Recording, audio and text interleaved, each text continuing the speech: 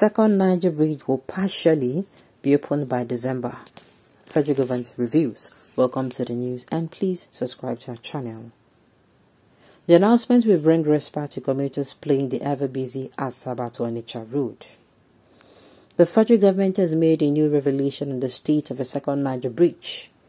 The federal government on Wednesday said that the second Niger Bridge will partially be open for public use during the Yuletide. The announcement will bring respite to commuters plying the ever-busy Asaba to Road.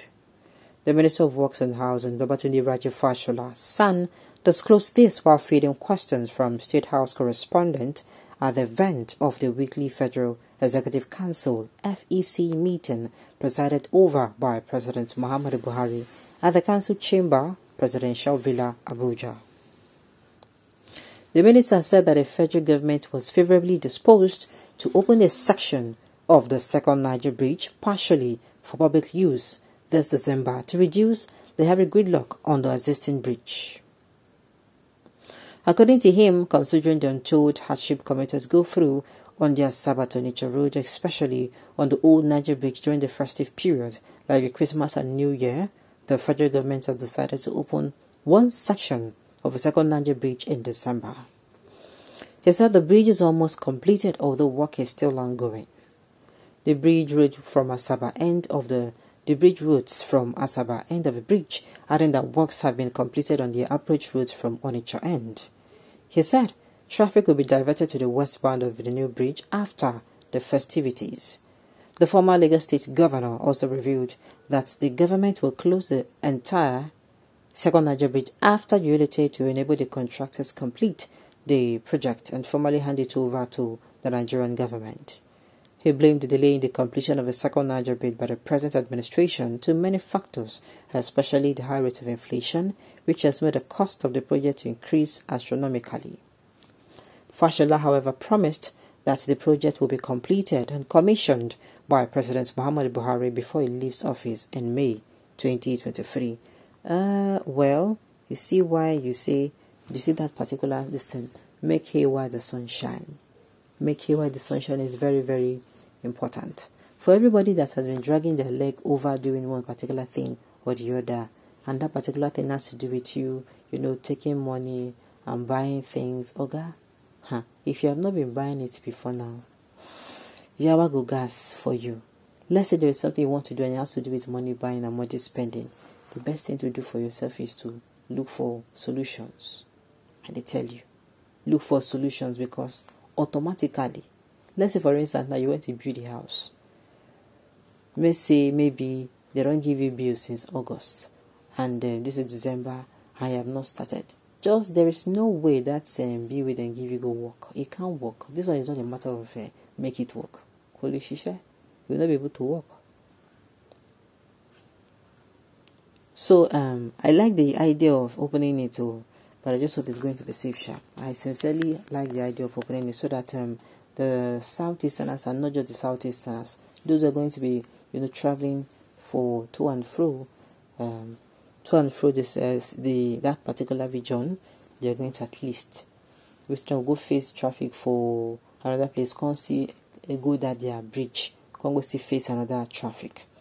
So I think it's actually a very wise decision, provided the rich is going to be able to, you know, assist um, um, um what's it called, Re- reduce traffic. Okay.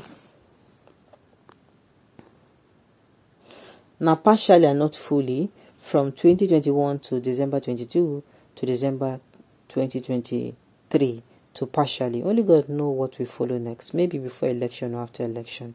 They said the bridge is going to be completed 2023 but they are going to open it partially 2020 that's this december 2022 have you taken the lesson from the last flooding to do the needful against future occurrence? Mm, well i don't know.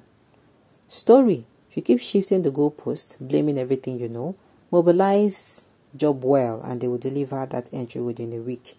We are talking a festive period what now that people are already suffering due to gridlock on a daily basis after the COVID and COVID 19 lockdown? So, um, people don't come outside say make them yara, make them be body, say make them do fast. Say if money um what's the uh, that they should try and hasten things up. Now, people they talk because truly, for a very long time, in fact, we don't hear for a very long time. They said the bridge will be ready in October, and now they've said it that they're going to open it partially in December, and now again, they're telling us that there's every possibility that the um, bridge is going to be opened in. The bridge is going to be opened. Uh, you know, it's going to be commissioned in 2023. You know, they're telling them to be fast about it. okay, oh, um, let's just let's just hope, sure, because like that particular this particular festive period, a lot of things happened that takes people um, to take that um, that Niger um, that bridge. That will go that will help a lot and will go a long way to ease the head bridge regular hold ups a bit, especially during the seasons. Especially me. That's what I said. People who normally come and tell you that ah eh, you hear people that oh they spent five hours, they spent eight hours on the particular spot. You know, I think it is going to do a whole lot. It's going to do a lot. It's not be small relief, you go relieve them. But uh, like I said, they should just make sure it is um, the part they want to open is actually safe and ready. Okay. Mm. A lot of people have the opinion that um, you know they might even finish project, and I'm saying make we leave that particular one. Yes, it is true that these people have promised and promised and promised and so oh, that's October. I think they said October, November that are going to commission this project, but you don't pass.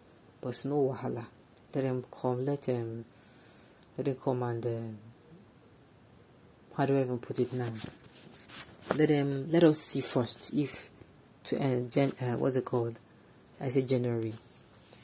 Let us see if at the end of the day, this particular bridge they not go around about 2023 before we have or start complaining. Hmm? Let us see that first. That's what people are saying. And uh, like I said, I think one thing they should also look into is, apart from the traffic, hmm, uh, they should also tighten the security. Yes, as they're talking about isn't the traffic. A lot of kidnappings are said to be going on. Um, what's it called on the road? I'm sorry I have to bring it into this particular news. I, I, I got stuck on. Yes, they should make sure that um, they do the needful. People are going to be moving around a lot. Maybe everybody get money for flight ticket, and they know. So this is even the more reason why they should, um, you know, tighten security. Hmm? They should tighten security. When I mean tighten security, I don't mean make people's life a living hell. I don't mean send people to go out of the road and start collecting one two hundred naira, one one thousand or one five hundred naira. I don't mean that. I mean tightening security for the main purpose of security because that money whether they collect, I got to come the money where then they collect, they make them sometimes. They already do their work. So, um, Nigerians, make we give these people to, um, uh, what's it called? Uh, after elections, and when they won't go, make we see if they will really round up the project. I'll be really, really happy. In fact, it will be a plus to them if they round it up. Okay, on this note, we have come to the end of the news. We say thank you for tuning into.